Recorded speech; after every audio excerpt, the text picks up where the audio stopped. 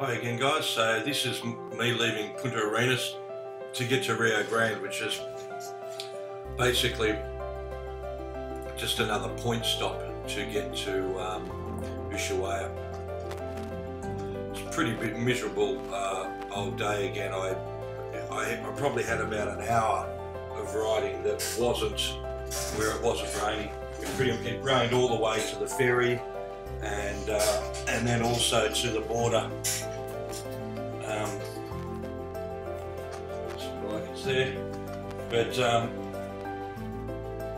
it's uh, it was a pretty painful day. It was pretty pretty cold, and uh, big storms came through, and basically uh, I wasn't really wet because my Klim gear really protects me pretty well. But around the neck area, and then you end up getting some uh, water inside the helmet and around the neck. Uh, the brace of the helmet, and so it can it, it got pretty annoying. So the trip today was there was two stages basically. One was to get to the ferry, and it was pouring with rain when I got to the ferry, so I parked my bike, and the ferry wasn't hadn't arrived yet. And uh, there's a cafe right onto the right hand side, and I went in there and had some sensational sandwiches. And then um, from there, um, I just waited for the ferry once the ferry got, I pretty much got was one of the first on the ferry. They waved the bike up the front. You pay for the ferry when you get on the ferry. Um, it's like about six US dollars uh, to get across. Uh, there, there's a little pay station there on the right hand side. You don't you don't leave the deck at all. You can go up above and, and have a bit of a look. That's the cafe, really really nice cafe. There's the ferry arriving in the background. There was really cheap food, but cheese was nice. Um, and then from there, I had to ride um, to the border, and it, it's pretty painful to stuff. This, but the border crossings are pretty easy. You've just got to make sure. Well, I'm Australian, so I have to get a tourist card. I think everyone has to get a tourist card, but any uh, US uh, citizens also have to pay a reciprocity fee. A reciprocity, I always get the word, I just can't say it. Um, and they, uh, yeah, they've got to pay like an extra $160 but it gets you there for I think 90, 150 days.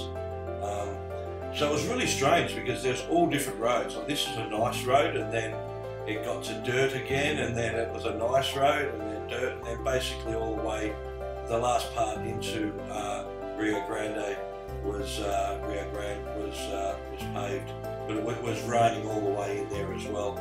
So uh, it was pretty slow. Just remember especially on days like this, because I have I have all my copies of my paperwork in my bags, and then on my backpack originals in a waterproof uh, satchel, and I have uh, my copies in a waterproof satchel. So you just don't ever want to get them wet because if you get them wet, even at one border, it could it, they could then stick to other bits of paper, and then you're all in all sorts of trouble. So you've really got to be you really got to be protective of all your paperwork all the way through.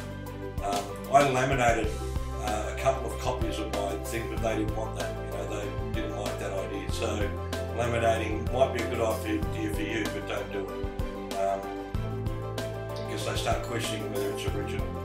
And I think they get it from the feel of the paper that they know. So um, yeah, just make sure you keep all your paperwork protected. Yeah, it was just two stations stop. The previous station was all in one in one stop, so it was easy. Um, but this one you had to go to one and then you rode about 10, 10 to 12 miles to the Argentinian side and then did the process there. That one took a little bit longer because a, there was a bus load of people in front of me and then it's a dirt road for probably about 20, 30 miles. Uh, pretty crappy dirt road with lots of potholes and very, very wide dirt road.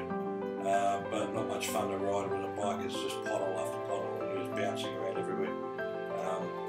But it wasn't a bad day. It's all about Ushuaia now, and I'm so close. And I just hope, at this stage, I was just hoping I wasn't going to get really bad weather because I was going to be staying there for three or four days in Ushuaia uh, and then making my way back to Buenos Aires. So, yeah. So I had some patches where it didn't rain, which was which was cool, but uh, most of the day was pretty miserable for me.